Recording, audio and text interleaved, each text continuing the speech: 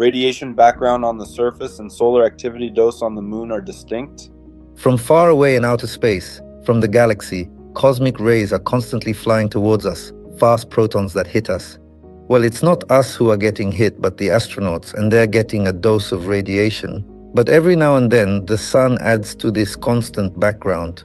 When there are flares on the sun, so called proton events, if radiation is massively emitted from the surface of the sun, then the radiation flux is much stronger.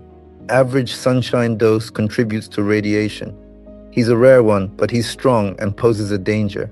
US astronauts went to the moon, they were fortunate, there were no strong solar flares, and they somehow avoided this unpleasantness. You can walk on the moon, but if astronomers warn of a solar flare, you must hide under lunar ground. 2 3 meters of soil provides good radiation protection against solar flares on the moon's surface.